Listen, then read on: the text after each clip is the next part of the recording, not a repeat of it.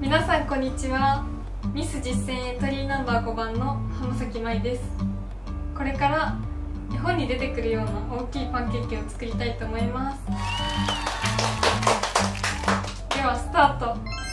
今日作るパンケーキの材料は牛乳そして卵そしてホットケーキミックスシュガーパウダーブルーベリーで作っていきます。はいこれからそれパンケーキを作っていくのですがレシピを見ながらやります。まずホットケーキミックスボウルに移したいと思います。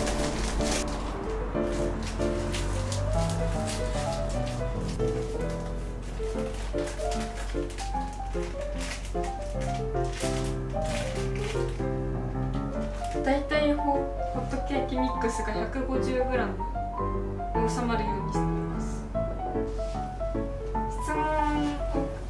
ていただいたので質問に答えていきたいと思います。はい私が今まで作ってきた料理は定番のハンバーグだったりあとなんだろう。結構たまに作るのがパエリアとか結構母の日とか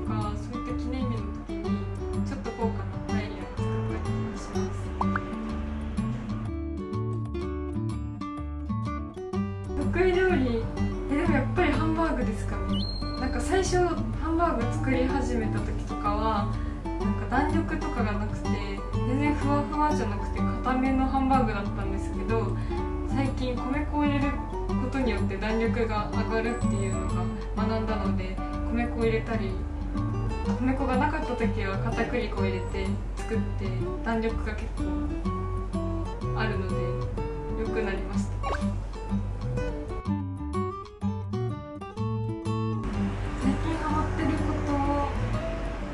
ですね。音楽を聴くことですか？なんか K-POP とか J-POP も洋楽も聴いたり結構幅広いジャンルで聴いてい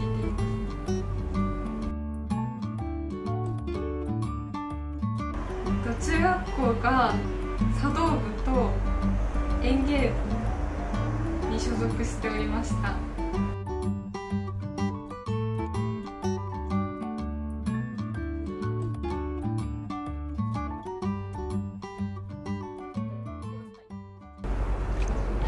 一旦混ぜ終わりました。これから卵白を作っていきたいと思います。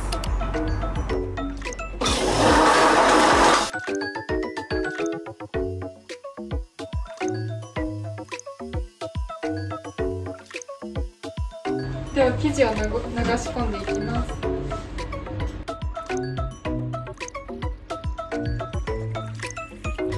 焼けるまでしばらく待ち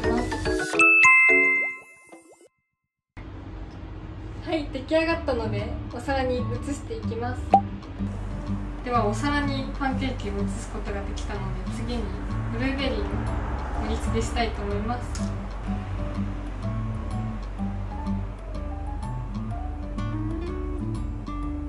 はい完成しました。こんな感じです。ケーキを作り終えたのでこれから究極の2択に答えながらパンケーキを食べていきます。ではパンケーキを食べていきます。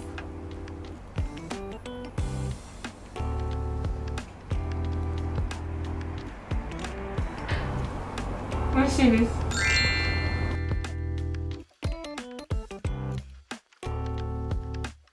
どこでもドアがいいです。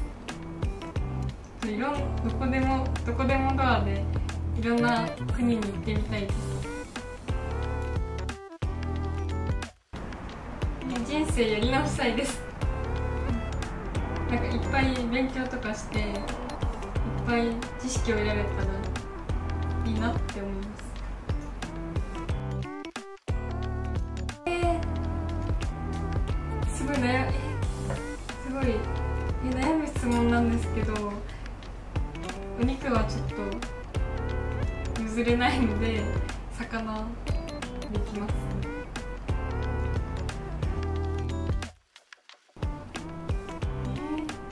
空を飛びたいです。お化けがちょっと無理すぎるのでどっちで一晩のがいいかなと思います。えー、でも映画見るの結構好きなので映画デートがいい。ですえー、これから一生住むなら都会がいいです。都内都内とか住み住んでみたいです。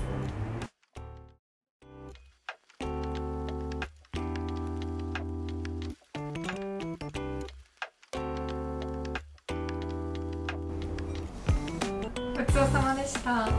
パンケーキが大きかったので運営のみんなと一緒にパンケーキが美味しそうだなって思った方は YouTube の下の登録画面を押してください。あと SNS 他の SNS もやっているので是非フォローしてください。ではおしまい。